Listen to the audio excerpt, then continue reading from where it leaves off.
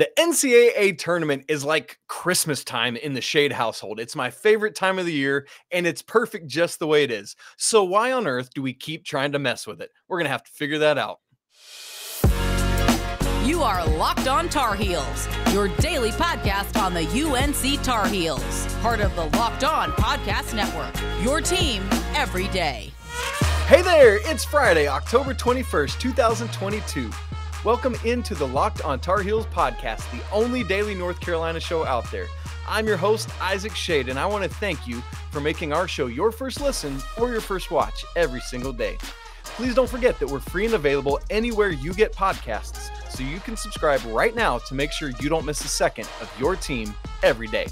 Today's episode is brought to you by Underdog. Sign up on UnderdogFantasy.com with the promo code Locked On and get your first deposit doubled up to $100. Folks, special treat today on the show. We are joined by Riley Davis, national writer for the Field of 68 Daily, part of Heat Check CBB, and spoiler alert, a North Carolina graduate. But we won't get uh, too much into that today. So we're going to look, as I alluded to in the cold open, man, there's some stuff going on with NCAA tournament expansion again. We got to just thwart that right in its track. We're going to talk about the upcoming season for the Tar Heels and a bigger, broader look at college basketball landscape itself. Riley, so great to have you in. Thanks for joining us. Yeah, Isaac, thanks for having me on. I've been a fan of your show since probably discovered it this summer, maybe listened to some episodes and some preseason stuff you did, even like back in July and August when there were probably very few people actually, you know, thinking about college hoops, but I know UNC fans always are. So glad to glad to be on the show for the first time. So yeah, thanks for inviting me on. Absolutely. So, yeah, folks, Riley and I text and talk a lot, just always enjoying bantering back and forth about college basketball and the Tar Heels and all sorts of stuff. And so, uh, this has been in the works for a while, and we're excited to be together. So, Riley, we got all the media days going on for the various conferences right now. And so, we're getting lots of interesting uh, blurbs and, and quotes and stuff out of that. So, let me throw a few at you uh, about tournament expansion, and then let's talk about it. So, yesterday, or excuse me, on Wednesday, Mizzou's head coach Dennis Gates said about the tournament, I would like to see it double. You kidding me? To be honest with you, there are some great coaches left out of the tournament and some great players we don't get to see. Uh, we've heard ACC Commissioner Jim Phillips and SEC Commissioner, uh, maybe the most one of the most powerful men in college athletics, Greg Sankey, both publicly talk about wanting to expand the tournament. Commissioner Phillips said the time is now as we're looking at the overall structure of the NCAA. So I'm in favor of looking at it, meaning NCAA tournament expansion, and I really would like us to expand. Riley Davis, I think this is an awful, terrible, no good idea. Where are you at on NCAA tournament expansion? Uh, well, I'll start by saying I would rather there be expansion than shrinking it. You know, like I know there were rumors about kicking out all the mid and low majors and just making it a power conference invitational, which I'd be very against that. Uh, but when it comes to these certain coaches who've been weighing in, like take Dennis Gates, for example, like you, he was the first who you mentioned. I understand why Dennis Gates is advocating for an expanded tournament. His I, job's I think, on the line. yeah, and I, I think that Dennis Gates was a pretty good hire by Mizzou. And I, I, think just looking at what he did this summer and this offseason sort of cemented that they they made a smart hire. And I, I think I'm really excited to see what Isiaih Mosley does this year for them. And uh, he's, you know, has basically been a, a 50, 40, 90 guy who flew under the radar because he ended up going to Mizzou, Mizzou uh, committed, right. committed to a, a, middle of the pack to bottom tier SEC team. But I actually think Mizzou could be a little bit better than maybe they're getting credit for this preseason. Uh, so anyway, all that is to say, I see why Gates is doing it, but me personally, like I would prefer for it to stick with 68. Uh, not that I have enough sway within the field of 68 to, to, to litigate some sort of a name change, but I would guess you know that would have to happen if that was the case. So would be happy if we got to keep our name with that. But uh, you know the big thing, if it ever were to expand, and like I said, I love for it to stay at 68. I, I really enjoy the the way the structure is. I would like to see it bring in more mid majors uh, as opposed to just bringing in like bad power conference teams. Absolutely. Uh, like as as guys who watched the ACC all last season, like were you really dying to see one more Syracuse game or see? were you Those were you ready to see? they're exciting, you know. Were you ready to see 11 win NC State get a chance or or a suddenly resurgent Boston College? Like I, I didn't really need to see those teams in the tournament. And that, that's how I've just am gonna feel going forward. And absolutely. And if we expand, it's not like there's going to be more mid and low tier teams getting in. It's going to be average to bad major conference teams getting a shot. And and uh, I believe Commissioner Phillips even talked about that, saying with expansion, like it's not that I want to see the AQs go away, and that's a good mm-hmm. thing, right? We want to represent all 32 conferences, and I love that. That's part of the the grandeur and the spectacle of the NCAA tournament. But mm-hmm. that's what it's going to be is when we when we bring in more, it's just going to be middling at large teams that that don't do anything to move the needle on the NCAA tournament. And so I, I, think there is a big thing here where, like, I've always been an advocate for AQs, automatic qualifiers, should not be in Dayton for the for the first four. Like that should be all at large teams. And I think that that's what we're looking at is we're just going to keep bringing these in. Now, some of the some of the committee is talking about growing um, in in all NCAA sports uh, by at least allowing 25% of the body in to whatever postseason that sport has. So for basketball, with 363 teams, that would be right in the realm of um, like 90 ish or so teams. And so we might be looking at something where uh, teams seeded one through 32 get a bye and then teams so that would be seeds one through eight and then all the nine through 16s all have to play a first round. Like what what does that do to the quality and the nature of the tournament as we know it riley? Yeah i think eh, not if you when you put it that way when i'm like oh teams one through eight seeds one through eight get a bye i'm a little bit intrigued especially because yeah. unc you know more often and that's just the math i'm doing on it but yeah yeah i hadn't really thought about that as a potential solution but i don't know i still 90 to me seems like too many i think it, this would even, I mean, I'm sure we'll talk about the almanac at some point on this podcast. Yes, absolutely. We're can, getting to it. Something I contributed to, but just knowing like we we covered all 363 teams, and you know, let's let's be real. There's a chance that 363 might be too many D1 teams. Like maybe maybe that's what needs to be to be pared down a little bit instead of just expanding uh, the entire tournament field. And yeah, I, it's a it's a good question to think through, like how much of the product gets diluted, or I guess even if you if you open it up to more mid majors, are you going to see more upsets? Probably. Uh, that's not necessarily a bad thing unless they continue again through into the second weekend. Because you know, I think media folks like myself, we always say you, you, cheer for the upsets on those first two days, but once you get to the and Sweet Sixteen, that's right. Yeah, let's let's get the good teams for the Sweet Sixteen, Elite Eight, Final Four, etc. Um, and again, if it is like we've already touched on, if it if it expands to more middling to bad power conference teams, I mean, I'll probably have that on in the background. But I, but it's not it's, just, it's not appointment television. Right. It's not that same sense of magic you feel that first Thursday where it's like, oh, as soon as as soon as that clock hits noon, I'm not doing any work. I'm doing whatever I can to get out of work and I'm probably going to watch basketball till midnight. Uh, maybe have a, a nice little walk around the neighborhood as a palate cleanse around like seven or eight just to, right. to make sure my, to make sure my brain's still working make sure my legs still work but yeah that's that's that's what i what i don't want to lose but yeah it'd be interesting to see how they structure it for sure yeah, and I mean, you even talk about the second weekend. What what would that even mean now if we have a, a seventh round essentially? I mean, I know we right. have that in Dayton that happens Tuesday and Wednesday leading into things, but uh, uh, what what is that even going to be? And so here's what I'm wondering. Maybe this the problem isn't with the size of the NCAA tournament. Maybe the problem with, is with the size of D1 at 363. Is it how what would your thoughts be on investigating the idea of splitting D1 at you know at some level um, similar to what football used to do and, and still has with FBS and FCS. Mm-hmm. Yeah, I think that would make sense. Again, I don't I don't mean that as a slight to any athletic departments out there, but I just, I mean, hearing about like even through the almanac with work I did this year and hearing about how many programs there are that just get completely funded through their their money games in the in the fall, like I could see why that would make sense. Although I'm sure none of the coaches or players would want to be relegated to like a perceived lower level. Uh, but it would it would more so be yeah, just seeing like I mean there probably are there are some D1 teams who are ranked you know, probably those teams 340 through 363 on KenPom yeah. where where you gotta wonder IU IUPUI, Ooey yeah. Pooey Jaguars. They're 363 right now. is it really worth them playing in D1 another year? Or I mean, but then again, we said the same thing about Chicago State two years ago, and it seemed like Chicago State was gonna get relegated That's... and down to D2 and they made a good hire and won a couple games in the WAC last year. I want to say they beat New Mexico State, who ended up getting the the automatic bid. So with, with some of these schools, it's like I think from my perspective as a fan of a of a power conference school of a blue blood, as someone who covers the sport, and is like, yeah, I'd be I'd be happy if there was like 60 less teams to write about for the almanac.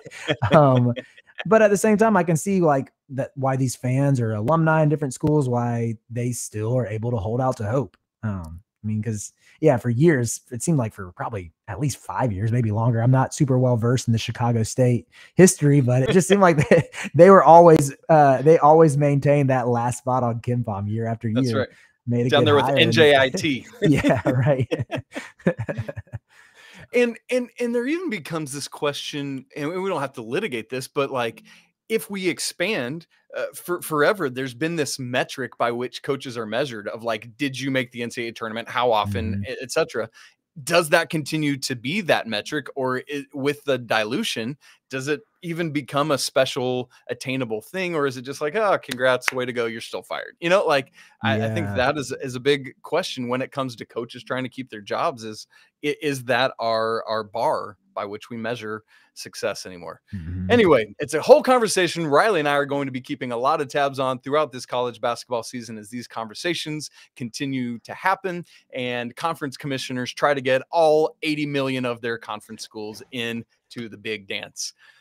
Folks, specifically for North Carolina, there are big expectations ahead this season, but are they going to live up to them? Will we see the Tar Heels from the first two thirds of last season or the Tar Heels from the last third? We'll ask Riley all about that right after I tell you more about Underdog. This episode is brought to you by Underdog Fantasy, the easiest place to spice up the college football season. It's easy to get started and easy to play while you watch your favorite team. In fact, I've created my own account with Underdog, and while the Tar Heels aren't playing this weekend, I'm going to be looking around for some other over under options to fill out my pick 'em slip. You can go to Underdog yourself to make your own picks, just like me. It's easy to play and available in over 30 states. Just pick between two and five players across any team, any sport, doesn't just have to be the Tar Heels, and decide if they will finish higher or lower than the stat given. It's one of the easiest fantasy games to play out there, and you can win cold hard cash in a single game. So sign up with promo code locked on, one word, and Underdog will double your first deposit up to $100. Deposit 100, get 100 free. Go to underdogfantasy.com or find the Underdog Fantasy app in the App Store or Google Play Store. That's Underdog Fantasy, promo code locked on, all one word. Get in on the college football pick'em action today. All right, Mr. Riley Davis, your alma mater, the North Carolina Tar Heels, are in store for a potentially big season. The 10th time in program history, they have been preseason AP number one. Uh, four of the previous nine times they've made it to the final four when they've been in that position. So history says it should be a good year. Here's my question for you to start this out. Which UNC team do we see? Is it the team that middled and struggled a little bit the first two thirds of the season, or is it the team that lost to Pitt and then ran the gauntlet just about the rest of the way of the 21 22 season? Yeah, I mean, this probably won't surprise any you and any of your UNC listeners out there. I'm assuming 95% if not 100% are UNC fans. And I'm going to I'm going to stake my claim with Hubert. I mean, I think they figured something out after that after that Pittsburgh game and uh, generally speaking, I'll cite analytics. You know, I'm more so of a vibes guy. I like to go off of, you know, what I see, what kind of vibes I'm getting. And yeah. yeah, exactly. Not necessarily like just getting straight into the numbers. I'm not quite like that, but I still got some numbers for you. So uh, using Bart Torvik, who uh, his analytics, you can filter by date and filter right. by game. And starting after the Pitt game, that day afterwards is February 18th. From that game through the end of the season, UNC played like the third best team in the country, which is a pretty big, uh, pretty big sample size. But even if you even if you filter out the NCAA tournament, Carolina played like the 13th best team in the country for those last uh, two weeks, uh, two two weeks through the rest of the the postseason with the ACC tournament. And just for fun, I filtered out that loss to Virginia Tech in the ACC tournament. And before that, before that, it was a six game sample size where they played like the fourth best team in the country per Bart Torvik's metric. So yeah, I, I mean, I do think like to expand on that a little bit. I think they figured something out around that time where, uh, of course, you're always going to have a transition time when you replace a legend like Roy Williams, first time head coach who had only coached, I think, at the JV level, if I'm not mistaken, had coached the UNC JV team with Hubert, but had, you know been on the bench the, the previous nine years to where I could see how there be that that sort that period where it's always going to be tough to re- to replace a figure like Coach Williams. And then on top of it too, I think uh, Hubert, to me at least, it looked like he changed up the defensive scheme. And I'm sure you remember, I'm sure your listeners remember that we were just a sieve on that end of the floor, like pretty much until early February and then backtracked it, backtracked to that again in, in the Pittsburgh game. And I think they figured something out on the defensive end. And when you bring back four of the five starters, including your best defend, your best all around defender, uh, and someone like in, in Leaky, and then someone like Armando who can sort of anchor the paint, but has enough enough to him where he can slide his feet on the perimeter and switch. Uh, I think the defense should stay at a pretty good a pretty good yeah. level. I'm, I don't know if there'll be like a top you know, top 10 or top 15 unit in the country, but I would be 0% surprised if UNC finishes 20 to 25th in defensive yeah. efficiency on KenPom. Yeah. And given what the offense should be, that should be enough to uh, carry right. the water there. And plus, you expect Pete Nance to be a better all around defender than was mm-hmm. Brady Manek with all due respect, he held his own like against Banchero and in some of those mm-hmm. other matchups, despite being uh, a less than stellar defender all around. Now I'm going to be the one getting blocked on Twitter. Um, and so, uh, Riley, my next question for you is: as you look at this Carolina team, what are you know three or so major storylines you're watching for this season? Yeah, the first one, since you just mentioned Pete, uh, he's number one for me. Is for how how, how will Pete Nance fit at UNC? and I'm super intrigued to see how Hubert uses him, both with like similarities and differences to Brady.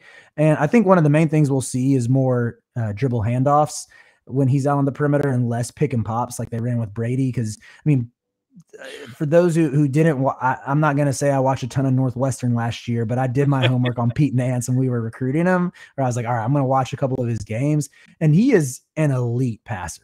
I mean, his feel, his processing is off the charts. Like he is an absolute playmaker from the top of the key, from the elbow. Like I really want to see, I would love to see Hubert use him, sort of like run the offense through him in spurts.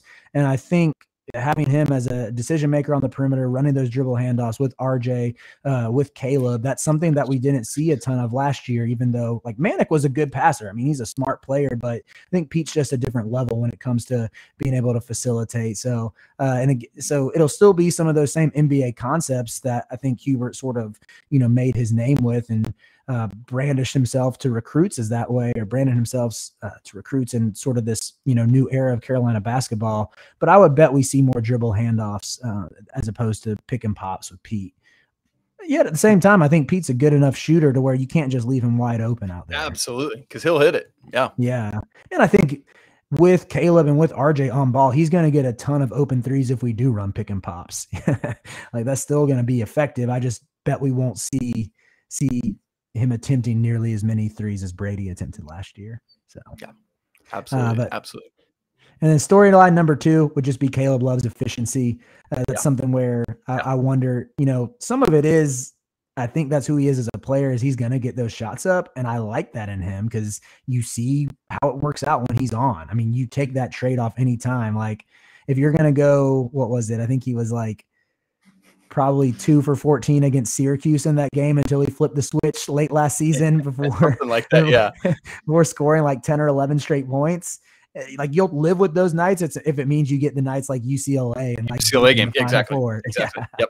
Um, but I'm just more so seeing can he at least clean up the shot selection some to where it's not just, you know, uh, pulling up from mid range in transition or uh, maybe driving with without much of a purpose or a plan and and is he able to take better angles to the basket when he's when he's slashing to the hoop? Like that's that's what i'm most intrigued to see because and i think we will we theoretically should see an uptick in in his efficiency, even if he is gonna, you know, take some questionable shots that he can make, but they're still questionable at times. no, no, no, no. yes. Okay. Good. so yeah, I mean, I'm a big Caleb fan. I've been a believer in him since he was a freshman. I thought, you know, even his freshman year when we were pretty mediocre there were ways where I thought he was battling on defense, and uh, even though again, like that that team wasn't anything special, and I, I, I thought I saw something there, and it was awesome to see it materialize more last year. But yeah, just kind of entering his junior season, I do think we'll see a little bit of an uptick in efficiency. Uh, and then, For, oh, go ahead. No, you're good, man. Keep going. I was just going to say the last storyline of, of the three that I'm most intrigued with would also be how Hubert uses the bench in year yes. two. Yes. Um, and I, I, think, don't get me wrong, when we get to March, I am 100% okay with Tighten him playing a seven or eight man rotation. I think even if it's seven men where you have your starting five and you got a change up guy in the backcourt, which I'm assuming is going to be Seth. Seth Trimble, yeah. yeah. Yeah. And a different, a different look in the front court, which I'm assuming will be Puff. I think you're golden with that. And, you know, maybe Justin or Dontrez will get spot minutes here or there. Like if, you know, you want to have guys ready to go in case of an injury. But if that's what we're rocking with, I'm cool with it. And especially like again, I I have to preface by saying I love Roy Williams. I rarely, if ever, criticize Roy Williams. But this so this might but, sound like a little bit of criticism, but I love Roy. I will always go to bat for Roy. But it felt like for years, you know, we were begging him to play his best players. Like Roy, come on, trim down this rotation sub. Uh, I even think back to like 2016 2017 season and like the non-conference portion every time luke maye was on the floor i was like oh my gosh what what is this dude doing in there and of course coach williams knows more than me hence why luke maye ended up becoming Luke Maye. beloved in Chapel Hill. yeah. yeah. Hitting the biggest shot of the season. And now his family is like royalty in Chapel Hill. So, uh, of course, it, a lot of times it did work out for Roy, but I still think, you know, as from a fan's perspective, we're like, come on, lean a little bit more on those best players. It's like, well, Hubert gave us that, but I, I do think this year, hopefully, we see him go to his bench a little bit more, and especially in the non conference portion.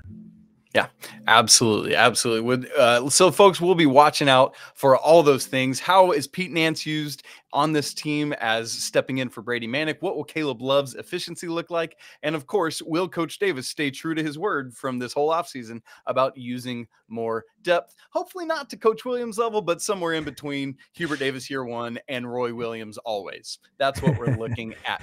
Uh, Riley, my last question, and then I want to transition into college basketball. Uh, the whole landscape of it is what what freshman for North Carolina do you think will have the biggest impact? Obviously, we've got there's a four person class with Will Shaver, who's been there this whole year since enrolling in the spring, along with Seth Trimble, Jalen Washington, and Tyler Nickel, the self proclaimed four level scorer.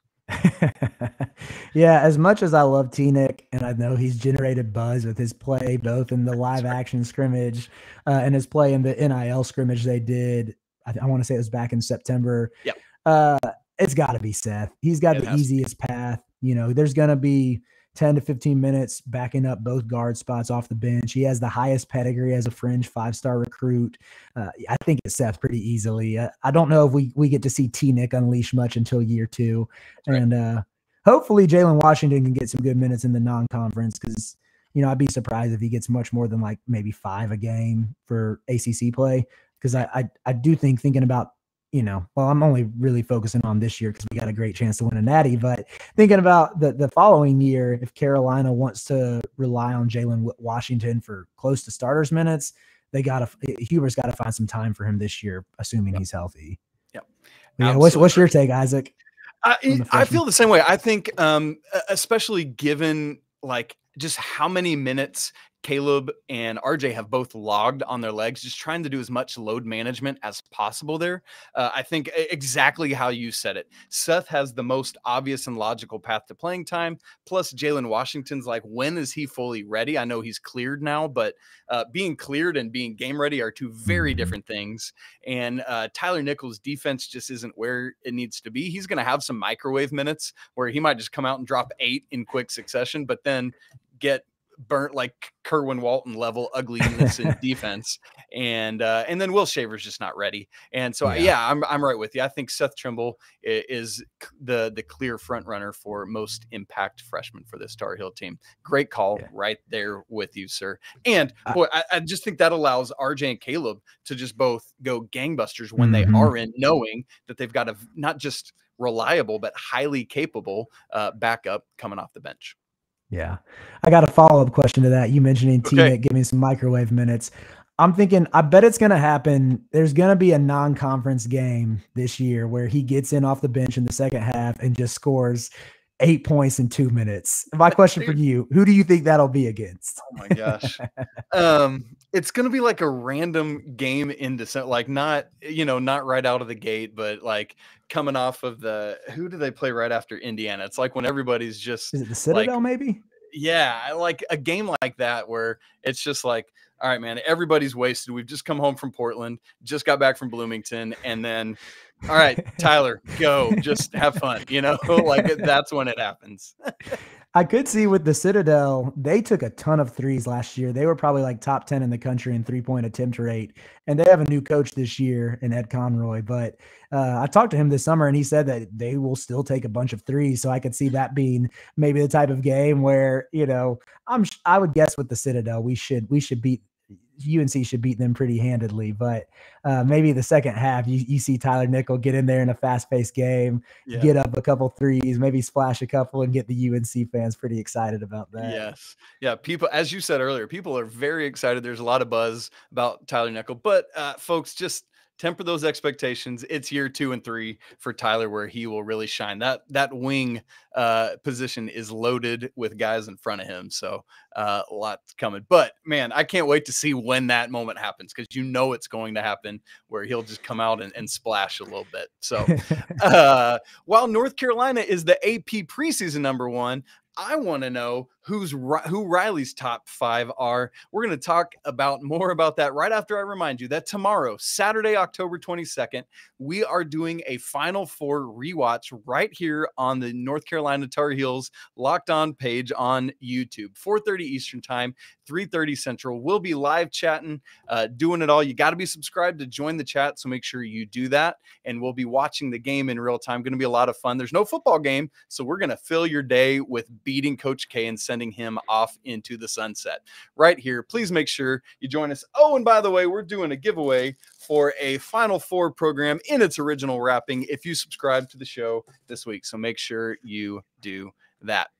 All right, Mr. Riley Davis, as he's alluded to, folks, Riley was part of putting out this insanely huge, exhaustive The Almanac that came out just a few weeks ago. It's great. I've got my own copy, been pouring over. It's got such great stuff content on every team. This, this crew that included uh, a collab of the Field of 68, three man weave, verbal commits, heat check, CBB, which Riley's part of a couple of those. Um, went and talked to every school, every head coach. And so just great behind the scenes information. If you haven't already picked that up, please make sure you go get it, not only because it supports their hard work, but just it's great content and is going to help you as a college basketball fan.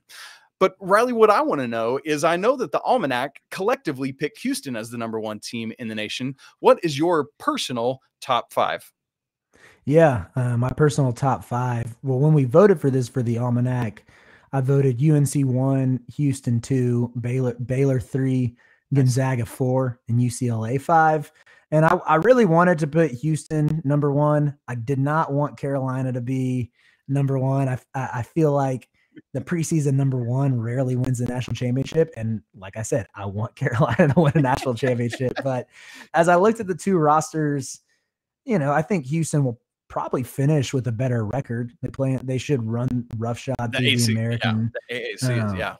Yeah, super well coached. Really respect what Kelvin Sampson's doing there. Like their defense is just an absolute I'm like, I'm, do I want to say it's a delight to watch because it's very physical and they they just yeah in, in a very different way than Virginia. Like it's not right, it's not Tony right. Bennett and what they're doing. Right? Yeah. Mm-hmm, mm-hmm. So yeah, I, I, I have a ton of respect for Houston and would not debate anybody if they ranked them number one. But I ended up rolling with UNC one. But I think since I submitted my initial top five, the more I've thought about it, I actually might lean Kentucky over UCLA for that fifth spot. Interesting. Even, what made you make that switch? Yeah, I, I, think. I mean, part of it is seeing KenPom have Kentucky number one in his preseason rankings. Uh, I mean, the man the man's algorithms work. So uh, that's part of it but even just looking more more closely at the numbers last year how good their offense was and how efficient it was for the majority of the season before ty ty washington and uh, got hurt. And i can't remember if kellan grady was battling an injury down the stretch of the season too. Not too sure about yeah. that but i know they had a couple injuries but their their offense just moved really efficiently and they bring back the national player of the year with oscar. And again like uh, well I know he's currently dealing with. I was going to say, yeah, he's a little banged up right now. Yep. Yeah, that's that is the one hesitation I would have to putting them surefire at number five is uh, we we won't know for sure where Oscar's at until we see him, you know, roaming around the court on opening night, and then again a week later in the Champions Classic. I'm really curious to see how he does there and what how how healthy he is. But um, just reading reports from the the pro day that that Kentucky had that apparently Oscar's shooting threes now, and apparently their freshman like Cason Wallace is supposed to be legit. Yeah. yeah. Uh, I, I, don't know if I'm quite buying the Jacob Toppin hype yet uh, as a shooter. I think he's a super versatile defender, super bouncy, but he he needs a little range if he's going to play the four next to Tshiebwe just to to help with that spacing. But yeah, I think I, I I ended up swapping UCLA with UK just because I, I think that UCLA their depth isn't quite top five good, but right. yeah, yeah, absolutely. And, and, absolutely, and because Tyger Campbell is like uh, one of the most legit true point guards in the nation, like hands down. Mm-hmm. But like, can Jaime Jaquez carry carry things right now that he is probably going to be more so the guy than he had been? Uh, that's a big question for me. And with, mm-hmm. I think part of what gives me a little bit of pause with Houston is as good as Marcus Sasser should be, is is he fully go coming off a big injury last year? Uh, really curious to see what happens as game action picks up and you get the nicks as the nicks mm-hmm. and bruises. But man, defense travels. We know that, and that's Houston's calling card, as you yeah. well said. Love that rally, man. Going to be fun. Should be a lot of good teams at the top, and that that's what makes for a good college basketball season, in my opinion. Now we've got a lot of those front runners, but I want to ask you on the backside of that, who are some dark horses you're watching out for this season? Yeah, San Diego State's the first that comes to mind. That's they are ranked right now. I want to say both KenPom, Bart Torvik, Evan Miyakawa, all of their metrics have San Diego State pretty high to where it's not like a super dark horse by any stretch. But I'm saying more so for maybe the casual fan who's not as as informed on what they might do. That San Diego State, I'm pretty sure, had the number one ranked defense last year. Uh, they play a tough pack line scheme, and on top of it, they have one of the games, I will say, like one of the most underrated playmakers in the country, and Matt Bradley, who's just a mm. 6'4, 220 pound wing who basically can, can run the point for them, makes a ton of tough shots, takes a bunch of threes off the dribble, and hits them at a pretty high level. And they also added Seattle transfer Darrion Trammell, who's probably only 5'10, 5'11, but is an absolute two way beast and fit right into what they want to do on defense and also be able to provide some of that secondary playmaking alongside Matt Bradley. So uh, again, they kind of they just have that model of a, a what's going to be a top three defense in the country, and they can get enough on offense to where uh, they should be able to go pretty far in the tournament next year. Uh, and aside from them, as far as like unranked teams that I think could end up being the type of teams to become nat- uh, nationally relevant all year or make a deep run in the tournament. I like both the Florida schools, both Florida and Florida mm State. I think should be pretty good. Florida is one of those teams who uh, they got a couple versatile wings and Kowacie Reeves. Yeah. Oh yeah, yeah, Colin Castleton in the middle. Uh, Alex Fudge was just a random dude who I loved when he was at LSU. I think he averaged like three points per game last year, but his just some of the blocks he had, like as a weak side rim protector, he's probably like six eight, six nine. I want to say long arms, good athlete, and ho- hopefully he can average maybe like ten points a game this year. But I think his you know his instincts as a defender should help that Florida unit be really good, especially with Castleton continuing to block a ton of shots in the paint. Um, and then Florida State, I mean, we've just seen them be a model of consistency under Leonard Hamilton, where they're they're always in that 15 to 20 range aside from last year where they suffered a ton of injuries yeah, and were yeah, like, yep. like I mean I I, I covered the the Duke Florida State game in Cameron last year in February and Florida State actually hung with Duke in the first half. They they had the lead for most of it before Duke went on a little run to take the lead. Right. But they literally were playing a walk on Harrison Prieto. I don't know if you remember that day, but I think he played 20 minutes that game. Hmm. so, uh, but so I'm I'm buying Matthew Cleveland year two big time. Mm, so boy, yeah, yeah. Any it feels like anybody that comes off of Leonard Leonard Hamilton's bench is either seven feet tall or can just get in and and make plays, and it's just yeah uncanny how he can do that year after year after year. So, uh, folks love those dark horse candidates there in San Diego State. It feels like the universe just owes them a solid after missing out. Same with Dayton in the 2020 right. season. And so, uh, really hope good things for them this year. My final question for you today, Mr. Riley Davis, is uh, in a year where we're looking at, man, you could legitimately, and I think like Rothstein has five bigs, five true centers on his first team All American ballot. Uh, if you're looking at this season, who are your first team All Americans preseason? Yeah. Uh, thank you for setting me up quite nicely to give another plug for the almanac. that is literally subtitled "The Year of the Big." If you, that's right. You know, there you go if you are on college basketball Twitter, there's a great chance you've seen a tweet promoting the almanac. But so even if you just Google it or go on my timeline, you'll see me promoting it. There's a link there. Best 20 bucks you'll spend all off season. Uh, but we have all the best bigs on the cover and did a whole feature article that Rob Doster did with from talking to Hunter Dickinson, talking to Armando, talking to Oscar, uh, just about what it why we're calling this the year of the big. So I do have the big three bigs on my first team with Drew Timme, with Oscar Tshiebwe, with Armando I think even regardless of how you like your All American teams, if you like having those concrete positions, like you right. just can't you can't leave one of those three off. It's, it's just you'll just feel wrong. Uh, so that leaves the the two other spots. So I picked Marcus Sasser for one of those mm. guard spots. Uh, I do think that yeah, I'm banking on him being healthy, and I think there's a good chance he'll be the best guard in the country if he's healthy. Uh, and the, the, the second the second one I picked will not make too many UNC fans happy, but I put Dariq Whitehead. And I know that that's a, a, little bit controversial just because he might not even be the best freshman on his own team. Dereck Lively's right, generated Lively, a bunch yeah. of buzz. Yeah. Yep. And Tyrese Proctor is getting a ton of love right now, too. But I, I think that Duke almost always has a first team All American. So I'm kind of just banking on precedent and history. And I just loved what I saw from Whitehead at Montverde. A super bouncy kid, can make plays on ball. He's kind of one of those point wings, sort of like when they used to let RJ Barrett, you know, make reads and, uh, run the offense through him to where, again, assuming that he is healthy. And I think Scheyer's been a little bit, a little bit vague, even with what his timeline is. Assuming he's healthy, I, I wouldn't be surprised to see him put up like 16 points, five rebounds, four assists or something. And so he's he's the one who I've sort of been like banging the drum on all summer that like this is the Duke freshman that I would buy hype around. Like other people are into Lively, some are into Proctor, but I, I think Whitehead will be the best. And uh, don't get me wrong, I would love for Duke to struggle. I, I won't hide that bias, but just being realistic, if if we're in March, if, if it comes to be March and they're a one, two, or a three seed, no one's going to remember if Dariq Whitehead missed a couple non-conference games in November if he's the best player on that team. So that's Absolutely. why I picked him as a as a first team All American. Love it, love it. Hard how, to. Hard how about you? Um, yeah, man, I'm I'm right with you. Those big three, I I tend to agree. I would leave off. You know, I think the other two bigs most people would have in that conversation are Hunter Dickinson and Trayce Jackson Davis. Mm-hmm. Um, I think there are a couple guards I would take over them. Um, yeah. I, I know it's just chalk with everyone else, but assuming his health, which I, am I'm, I'm hoping he will be, because you want to see the best players in the best health. Um, that Marcus Sasser, just given his two way capabilities, it just man, it, it is hard uh, to go against that in any way. And so, but then it's my fifth pick, who I I feel like I've shuttled people in and out of that role all off season, and so man, I just I struggle with it, Riley. To be honest with you, with that fifth pick. Um, and so I think I'm hoping, you know, you want again, you want all these kids to be healthy. So I hope Whitehead is healthy, but um, gosh, man, a fifth.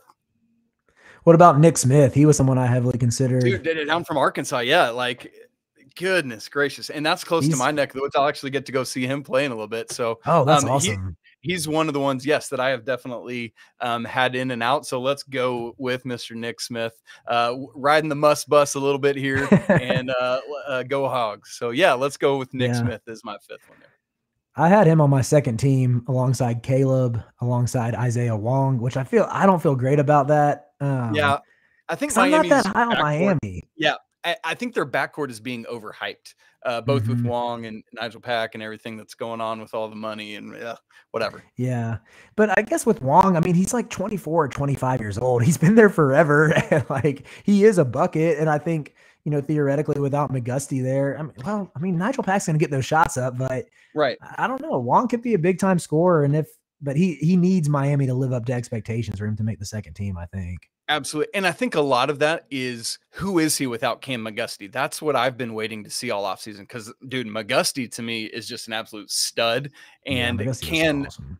can Wong carry that water without him? Basically, is what I'm Mhm, wondering. I'm not. mhm. I'm with you. I'm not necessarily sold on it, um, but we'll see. And Coach L, man, he he gets them going. And Miami's always a tough, always a tough out, just like Florida State. And so yeah, um, sure. they'll, they'll compete and work really hard at that. So, oh man, ladies and gentlemen, it's been so great to have Riley Davis on today, finally making this happen. We'll have to do it more often as we get into college basketball season, talking about both the Tar Heels and the national college basketball landscape and everything going on. Brother, thank you so much for joining us.